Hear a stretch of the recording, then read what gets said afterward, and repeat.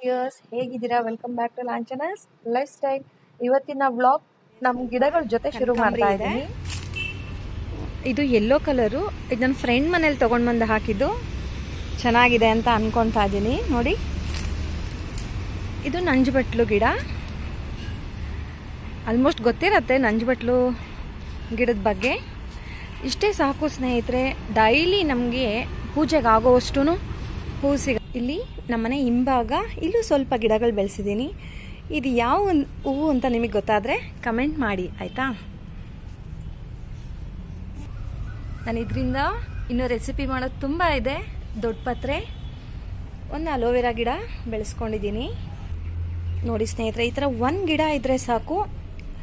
ವಾರ ಪೂರ್ತಿ ಅಥವಾ ಡೈಲಿ ಪೂಜೆಗೆ ಹೂವು ಸಿಗತ್ತೆ ನನಗೆ ಇಲ್ಲಿ. ಈಗಿನ್ನು ಚಿಕ್ಕದಾಗಿ ಒಂದು ನುಗ್ಗೆ ಗಿಡ ಬೆಳೆಸ್ಕೊಂಡಿದ್ದೀನಿ. ನೋಡಿ.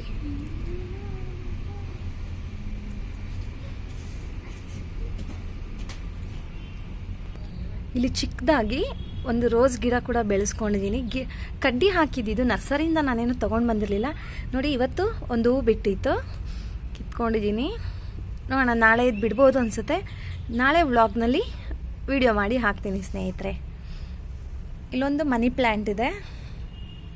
ಟೇಬಲ್ ರಾಣಿ ಅಂತ ಮಗ ಸ್ನೇಹಿತರೆ ನಮ್ಮ ತಂಗಿ ಮನೇಲಿ ಇದ್ದ ಸಮರ್ ಕ್ಯಾಂಪಿಗೋಸ್ಕರ ಬರ್ತಾ ಇದ್ದಾನೆ. ಅವ್ನ್ ಖುಷಿನೋ ಖುಷಿ. ನಾವು ಹೇಳ್ದಾಗೆ ಹೋಗ್ತಾ ಇದ್ದೀವಿ. ಅವನಿಗೆ ಗೊತ್ತಿಲ್ಲ ನಾವು ಹೋಗ್ತಾ ಇರೋದು ಸರ್ಪ್ರೈಸ್ ಇದೆ. ಬನ್ನಿ ಹೇಗ್ ರಿಯಾಕ್ಟ್ ಮಾಡ್ತಾನೆ ಅಂತ ನೋಡ್ಕೊಂಬರೋಣ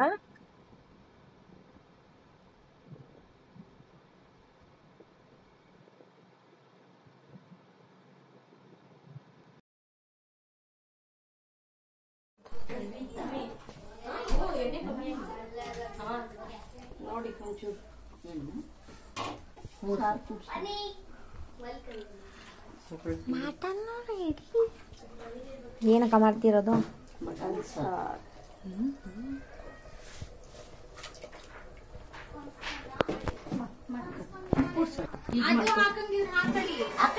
ಇದೇನಕ್ಕ? ಚಿಕನ್ ಚಾಪ್ಸ್ ಚಿಕನ್ ಚಾಪ್ಸ್ ಇದು? ಹ್ಞೂ ತೆಗೀರಿ. ನಮಗೆ ಇಂತ ಬೇಬಿ ಪೊಟ್ಯಾಟೊ ಪಲಾವ್ ಮಾಡಿದ್ದಾರೆ. ಇದು ತೋರಿಸಿದ್ರು ಇದನ್ನ. ಒಂದೇ ಸಲ ನೀಟಾಗಿ ಹೇಳ್ಬಿಡು. ಸಾರಿ ಇದು ಸಮ್ಮರ್ ಕ್ಯಾಂಪಿಂದ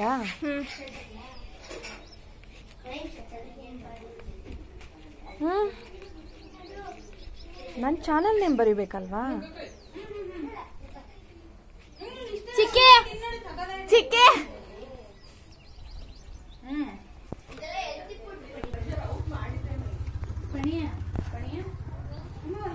ನೋಡಿ ನಮ್ಮ ಚಾನಲ್ ನೇಮ್ ಬರೀತಿದ್ದಾರೆ. ಲಾಂಚನಾಸ್ ಲೈಫ್ ಸ್ಟೈಲ್ ಅಂತ ಸಬ್ಸ್ಕ್ರೈಬ್. ಡಿಯಾಸ್ ಇದಕ್ಕಾದ್ರೂ ನೀವು ಸಬ್ಸ್ಕ್ರೈಬ್ ಮಾಡಿ ಕಲರ್ಸ್ನ ಮಿಕ್ಸ್ ಮಾಡಿದ್ರೆ ಯಾವ ಕಲರ್ ಫಾರ್ಮ್ಯಾಟ್ ಆಗುತ್ತೆ ಅನ್ನೋದು ಕಲರ್ ವೀಡಿಯೋ ಇದಾಗ ಶೇಡ್ ಮಾಡೋದಕ್ಕೆ ಕೊಡೋದಿದ್ದು ಶೇಡಿಂಗ್ ಟೂಲ್ ಇದರಲ್ಲಿ ಎಲ್ಲಾ ತರನು ಶೇಪ್ಸ್ ಕೊಡ್ಬೋದು. ಎಲ್ಲಾ ತರನು ಇದಾಯ್ತು. ಆಮೇಲೆ ಇದು ಎರೇಸರ್ ಇದು. ಚುನಿ ಹ್ಞೂ ಚಿನಿ ಇದೆಲ್ಲ ಯಾವಾಗ ವರ್ಕ್ ಮಾಡಿಸ್ತಾರೆ? ದಿನ ಒಂದೊಂದೇನ ತಡಿಯಮ್ಮ ಇದು ಒಂದು ನಿಮಿಷ. ಎರೇಸರ್ ಹ್ಞೂ ಇದು ಎರೇಸರು ಎರೇಸ್ ಮಾಡಿರ್ತೀವಿ. ಇದಿರುತ್ತೆ ಅಲ್ವಾ? ಇದನ್ನ ಹಿಂಗ್ ಇಟ್ಕೊಂಡು ಎರೇಸರ್ ಮಾಡೋದು. ಹೌದಾ? ಇದು ಹೆಂಗ್ ತಗೊಂಡಿ? ಹಿಂಗ್ ಇಟ್ಕೊಂಡಿ ಯಾವ್ದಾದ್ರೂ ಡ್ರಾಯಿಂಗ್ ಮಾಡಿರ್ತೀವಿ ಸ್ಕೆಚ್ ಮಾಡಿರ್ತೀವಿ. ನೋಡಗ ಇದಲ್ಲಿ ಶೇಡ್ ಮಾಡಿರ್ತೀವಲ್ಲ? ಇದಂಗೆ ಹಾಕು ಪುಟ ಇದ್ ಮಾಡಿರ್ತೀವಲ್ಲ ಅದನ್ನ ಮಾಡಿದಾಗ ಅದನ್ನ ನೀಟಾಗಿ ಅಲ್ಲಿ ಎರೇಸ್ ಮಾಡ್ಬೇಕಾದ್ರೆ ಇದೇ ಮಾಡೋದು ಮಾಮೂಲಿ ಹೆಸರು ಆದಾಗ ಗಲೀಜಾಗುತ್ತೆ ಇದೆಲ್ಲ ನೀಟಾಗಿ ಕೈ ಇಟ್ಕೊಂಡು ಮಾಡೋದು ಮಾಮೂಲಿ ಹೆಸರು ಮಾಡಕ್ ಹೋದ್ರೆ ಕೈಯೆಲ್ಲ ಆದಾಗ ಫುಲ್ ಕೈಯೆಲ್ಲ ಆಗುತ್ತಲ್ಲ? ಅದಕ್ಕೆ ಹೆಂಗ್ ಇಟ್ಕೊಂಡು ಕ್ಲೀನ್ ಮಾಡೋದು. ಇದೇನು ಕೊಟ್ಟಿದ್ದಾರೆ ಅಂದ್ರೆ ಇದು. ಇದು ಇದ್ದಾಗ ಇದು ನಮ್ ಕೈ ಇಟ್ಕೊಳಕ್ಕೆ ಸ್ಟಿಫ್ ಆಗಿರುತ್ತೆ. ಮತ್ತೆ ಇದು ಏನಂದ್ರೆ ಕೊಳೆನೂ ಆಗಲ್ಲ. ನಾವ್ ಕೈ ಇಟ್ಕೊಂಡಿದ್ದಾಗ ಇದು ಕೊಳೆನೂ ಆಗಲ್ಲ. ಅದಕ್ಕೆ ಇದು ಒಂಥರ ವಾಟರ್ ಪ್ರೂಫ್ ಇದ್ದಂಗೆ ಆಯ್ತಾ? ಇದು ಹಂಗೆ. ಓಕೆ ಮಗನೆ. ಇಷ್ಟು ನಿಂದು ಸಮರ್ ಕ್ಯಾಂಪ್ ಕಿಟ್ಟ ಒಂದ್ ನಿಮಿಷ ಇಲ್ಲಿ ಸ್ಕೆಚಿಂಗ್ ಟೂಲ್ ಕೊಟ್ಟಿದ್ದಾರೆ. ಇದು- ಸ್ಕೆಚಿಂಗ್ ಪೆನ್ಸಿಲ್ ಸ್ಕೆಚಿಂಗ್ ಟೂಲ್ ಕೊಟ್ಟಿದ್ದಾರೆ. ಇದರಲ್ಲಿ H B two B four B six B eight B ten B ಹಂಗಂದ್ರೆ ಏನ್ ಅನ್ಕೊಂಡಿದೀರಾ ಅಂದ್ರೆ ಅದು ಪೆನ್ಸಿಲ್ಸ್ ಸೈಜ್ ವೈಸ್ ಬರುತ್ತೆ. ಇದರಲ್ಲಿ ಅಂದ್ರೆ ಹೆಸರು ಕೊಟ್ಟಿದ್ದಾರೆ. ಅಂದ್ರೆ ನಾವೀಗ ಯಾವ್ದಾದ್ರು ಡ್ರಾಯಿಂಗ್ ಮಾಡ್ಬೇಕು ಅಂದ್ರೆ ಮಾಮೂಲಿ ಪೆನ್ಸಿಲ್ ಮಾಡಕ್ ಚೆನ್ನಾಗ್ ಬರಲ್ವಲ್ಲ ಆ ತರ? ಇದು ಟೆನ್ ಬಿ ಟೆನ್ ಬಿ ಹೆಂಗೆ? ಯೂಸ್ ಮಾಡಿ ಆ, ಇದು ಮಾಮೂಲಿಯಾಗೂ ಯೂಸ್ ಮಾಡಬಹುದು ಇದು ಎಚ್ ಟೆನ್ ಬಿ ಯಾಕಂದ್ರೆ ಅಗ್ಲಗ ಆಲ್ರೆಡಿ ನಿಮಗೆ ಡ್ರಾಯಿಂಗ್ ಕ್ಲಾಸ್ ಹೇಳ್ಕೊಟ್ಟಿದ್ದಾರಾ? ಆ, ಇದೆ ಹೇಳ್ಕೊಟ್ಟಿದ್ರೆ ಆಮೇಲೆ ಬೇಕಾದ್ರೆ ತೋರಿಸ್ತೀನಿ ಡ್ರಾಯಿಂಗ್ ಬುಕ್ ಈಗ ಟೆನ್ ಬಿ ಅಂದ್ರೆ ಅಗ್ಲು ಅಗದ್ದು ಇದು ಬರುತ್ತೆ ಲೆಡ್ಡು ಈಗ ಯಾವ್ದಾದ್ರು ಕಣ್ಣ ಹತ್ರ ಆ ಥರ ಎಲ್ಲ ಡ್ರಾಯಿಂಗ್ ಸ್ಕೆಚಸ್ ಮಾಡ್ಬೇಕಾದ್ರೆ ಉಪಯೋಗ ಬರುತ್ತೆ. ಇದು ಎಷ್ಟು ಬಿ ಅಂದ್ರೆ ಏಟ್ ಬಿ. ಇದು ಅಷ್ಟೇ ಮಾಮೂಲಿ. ನೀವು ಡ್ರಾಯಿಂಗ್ ಮಾಡ್ತೀರಲ್ಲ ಅವಾಗ ಹೇಳೂರಂತೆ ಬಿಡಿ ನೀವು. ಯಾವ್ದನ್ನ ಯೂಸ್ ಮಾಡಿದೀರಾ ಅಂತ. ಆಯ್ತಾ? ನಾವು ಡ್ರಾಯಿಂಗ್ ಅಲ್ಲಿ ಯೂಸೇ ಮಾಡಿಲ್ಲ. ಹೌದಾ? ಈಗ ನೆಕ್ಸ್ಟ್ ಮಾಡ್ತಿರಲ್ಲ ಇನ್ನ ಒನ್ ಡೇ ಅಷ್ಟೇ ಅಲ್ವಾ ಆಗಿರೋದು? ಮಾಡಿದಾಗ ಯೂಸ್ ಮಾಡ್ತೀನಿ. ಆಯ್ತಾ? ಈಗ ಡ್ರಾಯಿಂಗ್ ಬುಕ್ ತೋರಿಸ್ಲಾ? ಇದು ಕಲರ್ ಪೆನ್ಸಿಲ್ಸ್ ಇದರಲ್ಲಿ ಟ್ವೆಲ್ ಕಲರ್ಸ್ ಇರ್ತವೆ ಎಲ್ಲ ಚೆನ್ನಾಗಿರ್ತವೆ. ಆಮೇಲೆ ಇಲ್ಲಿ ನೋಡಿ ಇಷ್ಟು ಟ್ವೆಲ್ ಕಲರ್ಸ್ ಇದ್ರೆ ನಾನು ಉಲ್ಟಂ ಪಲ್ಟ್ ಹಾಕಿದ್ದೀನಿ. ಇರ್ಲಿ ಬಿಡು ಆಯ್ತು. ಹಾ ನೋಡಿ. ಹಿಂಗಿರುತ್ತೆ. ಇದರಲ್ಲಿ ಎಲ್ಲ ಕೊಟ್ಟಿರ್ತಾರೆ. ಇದಕ್ಕೆ ಶಾಪ್ನವರು ಕೊಟ್ಟಿರ್ತಾರೆ. ನಟರಾಜಿಂದು ಒಟ್ಟಿನಾಗೆ ಒಳ್ಳೆ ವರ್ತ್ ಆಗಿರುತ್ತೆ. ಆಮೇಲೆ ಏನಪ್ಪಾ ಅಂದ್ರೆ ಇಷ್ಟು ನಮ್ ಕಿಟ್ ಅಲ್ಲಿ ಇದೆ ಸೊ ಒಳ್ಳೆ ವರ್ತ್ ಇದೆ. ನಮ್ಗೆ ಪ್ರಾಫಿಟ್ ಇದೆ. ಆಯ್ತಾ? ನಾನು ಡ್ರಾಯಿಂಗ್ ಬುಕ್ಕಿಗೆ ತೋರಿಸ್ತೀನಿ ಆಯ್ತಾ? ಒಂದ್ ಮಿನಿಟ್ ನೋಡಿ ಇದು ಸ್ಕೆಚ್ ಬುಕ್ ಅಂತ. ಇದು ಒಳ್ಳೆ ಈಗ ಇದೆಯಾ ಇದು? ಒಳ್ಳೆ ಇದಿದೆ ಒಳ್ಳೆ ಇದಿದೆ ಅಂದ್ರೆ ಬುಕ್ ಇದೆ. ಒಳ್ಳೆ ಏನಪ್ಪ ಗಟ್ಟಿಗೆ ಶೀಟ್ಸ್ ಇವೆ. ಇದು ಏನಂದ್ರೆ ಏನಪ್ಪ one fifty G S M ಅಂದ್ರೆ one fifty G S M ಅಂದ್ರೆ ವಾಟರ್ ಪ್ರೂಫ್ ಅದು.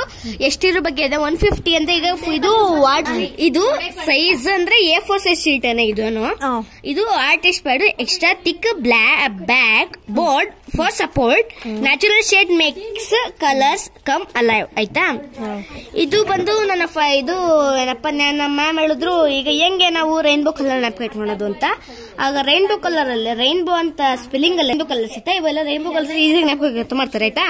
ಇದ್ರ ಬಂದು ನನ್ನ ಫಸ್ಟ್ ಡೇ ಇದು ನನ್ನ ಇದು ಬಂದು ನನ್ನ ಫಸ್ಟ್ ಡ್ರಾಯಿಂಗು ಅದಕ್ಕೆ ನಾವಿದು ಬೇಸಿಕ್ ಶೇಪ್ಸ್ ಇದೊಂದು ಬೇಸಿಕ್ ಶೇಪ್ಸ್ ಇದರಲ್ಲಿ circle square triangle rectangle heart oval cone star ಇದೆ. ಅಪ್ಪು ನೀನು ಇಷ್ಟೆಲ್ಲ ತಿಳ್ಕೊಂಡಿದ್ಯಾ? ಟ್ಯೂಷನ್ ಅಲ್ಲಿ ನವೋದಯ ಟ್ಯೂಷನ್ ಎಲ್ಲ ತಲೆಗೆ ಹೋಗ್ಬಿಟ್ರೆ ನೀನ್ ಫಸ್ಟ್ ಬಂದ್ಬಿಡ್ತೀಯಲ್ಲ ಮಕ್ಕನೆ ಇದು ನಿಮ್ ನಿನ್ ಸುಮ್ನೆ ತೆಗಿ ಇದು ಟ್ರೀಸ್ ಪ್ಯಾರೋಟ್ ನಾನು ಕೇಳ್ತೀನಿ.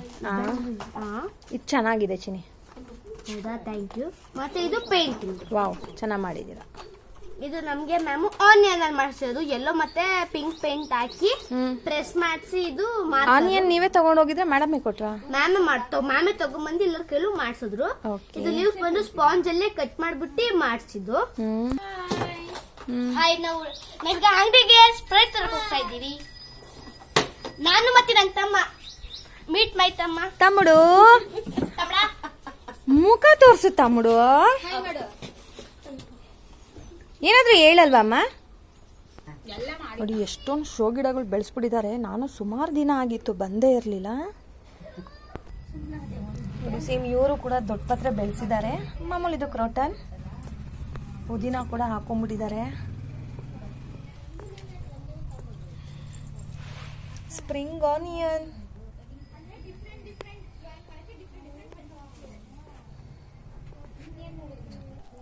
ಇಲ್ಲಿ ನಮ್ಮ ಮನೆ ಹತ್ರ ಇಂತ ಇಲ್ಲಿ ತುಂಬಾ ಕಾಮಾಗಿದೆ ಸ್ನೇಹಿತರೆ. ನಮ್ಮ ಮನೆ ಹತ್ರ ತುಂಬಾ ಟ್ರೈನ್ ಸೌಂಡು ಮತ್ತು ವೆಹಿಕಲ್ಸ್ ಜಾಸ್ತಿ. ಇಲ್ಲಂತೂ ನೋಡಿ ಎಷ್ಟು ಕಾಮಾಗಿದೆ ಅಂದರೆ ಒಂದು ಆರನ್ ಸೌಂಡ್ ಕೂಡ ಇಲ್ಲ.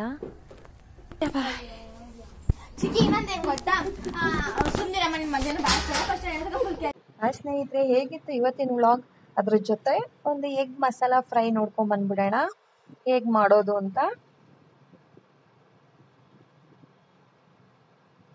ಇಲ್ಲಿ ನಾನ್ ಸ್ಟಿಕ್ ಪ್ಯಾನ್ ತಗೊಂಡಿದ್ದೀನಿ. ಅದಕ್ಕೆ ಸುಮಾರು ಒಂದು ಎರಡು ಸ್ಪೂನ್ ಅಷ್ಟು ಎಣ್ಣೆ ಹಾಕೊಂಡಿದ್ದೀನಿ. ಮೆಂತ್ಯ ಸೊಪ್ಪು.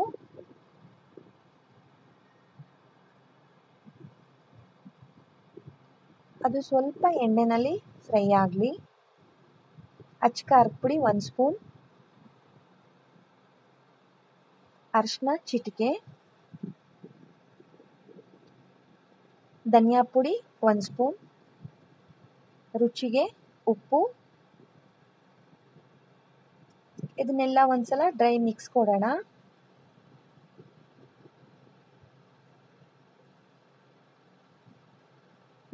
ಫ್ಲೇಮು ಲೋನಲ್ಲೇ ಇರಬೇಕು ಸ್ನೇಹಿತರೆ ಮೀಡಿಯಮ್ಮು ಕೂಡ ಬೇಡ.